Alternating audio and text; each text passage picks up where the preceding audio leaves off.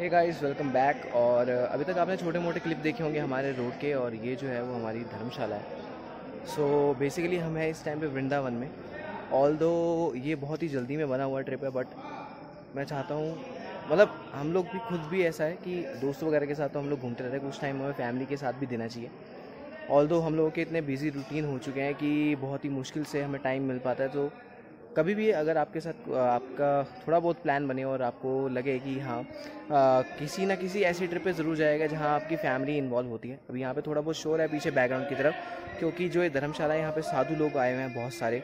और अभी इससे पहले आपने जो क्लिप देखी उसमें थे वो लोग और ये लोग कहीं जा रहे हैं। पहले यहाँ पर स्टे कर रहे थे अब कहीं और जा रहे हैं। एंड आगे चलते हैं वीडियो में। अभी हम जाएँगे यहाँ से बांकी बिहारी मंदिर और कोशिश करेंगे कि आपको कुछ और क्लिप दिखा सके वहाँ तो हमें फ़ोन छोड़ के जाना पड़ेगा मेजरली वहाँ पर जो मंकीज़ हैं और बंदर वगैरह बहुत ज़्यादा होते हैं वहाँ पर।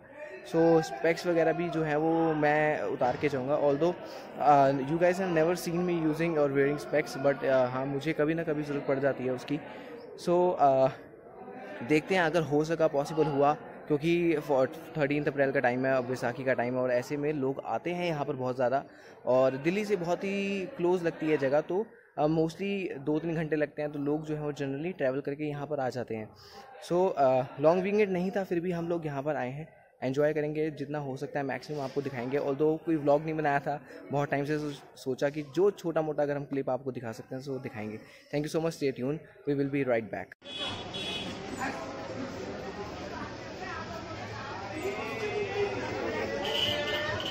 भैया हटाने।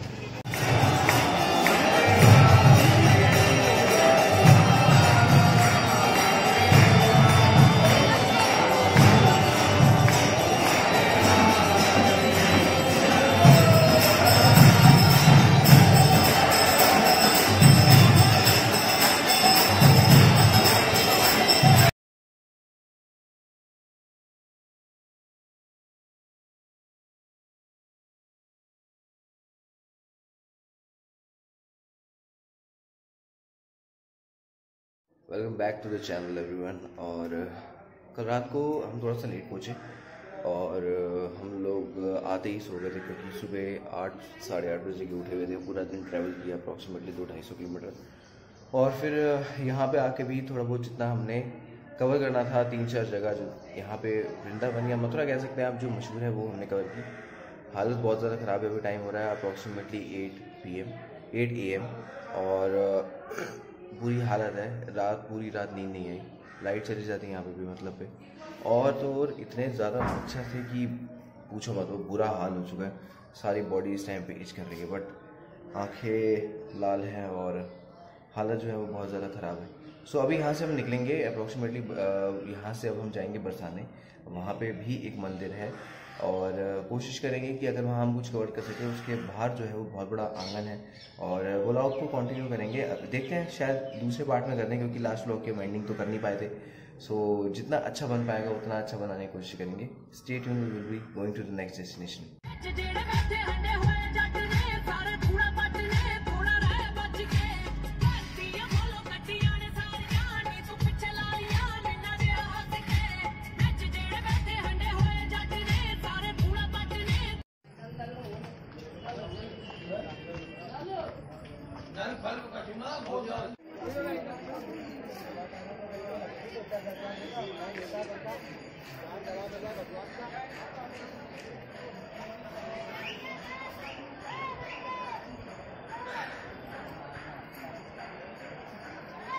सीढ़ियाँ ही सीढ़ियाँ इस मंदिर के लिए और व्यू जो है वो बहुत ही अच्छा है और मौसम बिल्कुल भी अच्छा नहीं है। If you want to travel ऐसी किसी भी जगह पे तो ट्राई करो कि ईयर के स्टार्टिंग में आ जाओ। You can see the whole city बहुत ही ऊपर है ये जगह।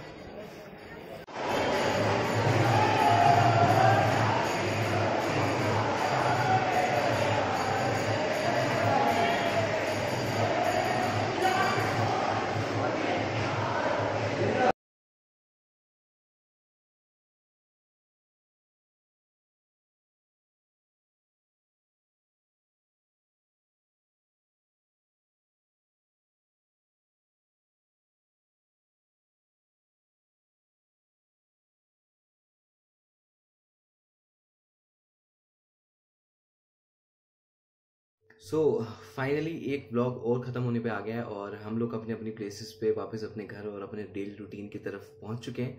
और थैंक यू सो मच यहाँ तक वीडियो को देखने के लिए। और कैसी लगी ये वीडियो कैसा लगा? एक शॉर्ट एंड क्रिप्स जो हमने ये ब्लॉग बनाने की कोशिश करी। और तो और जो हमने बैसाखी जो है सेलिब्रेट करा कुछ अलग तरीके से। चाहते थे कि एक वो जो टच है जो वो फार्मर्स वगैरह कैसे फील करते हैं या क्या उसका कुछ नज़ारा देखने को मिल सकता है। ऑल तो बहुत ज़्यादा टेम्परेचर होता है दिल्ली दिल्ली से बाहर, या दिल्ली में भी, उस टाइम पे जब हम कल ट्रैवल कर रहे थे, यानी फोर्टीन ऑफ़ अप्रैल आज है फिफ्टीन और हम एंड नहीं कर पाए थे अपने ब्लॉग को क्योंकि इतना ज़्यादा हमारी बॉडी और हम लोग थक चुके थे।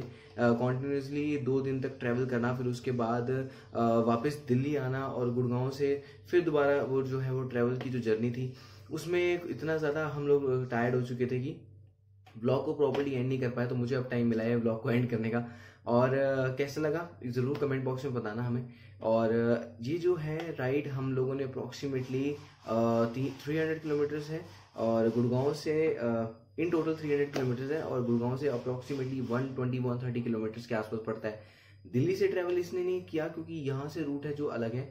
सोना और पलवल वाला रास्ता जो गुड़गांव के थ्रू जाता है बेस्ट रूट है, बहुत ही अच्छा गवर्नमेंट ने जो है वहाँ पर इम्प्रूवमेंट्स करी हैं। कुछ साल पहले हम अप्रोक्सीमेटली एक साल पहले जो है मैं गया था उस ट्रिप पर दोबारा मतलब पहले भी जब गया था तो जहाँ पर जो है हाईवेज वगैरह उस टाइम पे अंडर कंस्ट्रक्शन थे।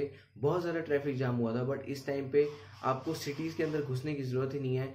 ट्रैफ़िक इतना ज़्यादा आपको परेशान करेगा ही नहीं, क्योंकि हाईवेज इतने अच्छे हैं आप लोगों ने कुछ क्लिप्स और कुछ शॉर्ट्स ज़रूर देखे होंगे उसके। So thanks for watching this video till now we will see you on the another side और कोई ना कोई क्विक अपडेट वाली वीडियो हर हफ़्ते आती ही रहेगी। Thank you so much will see you on the another side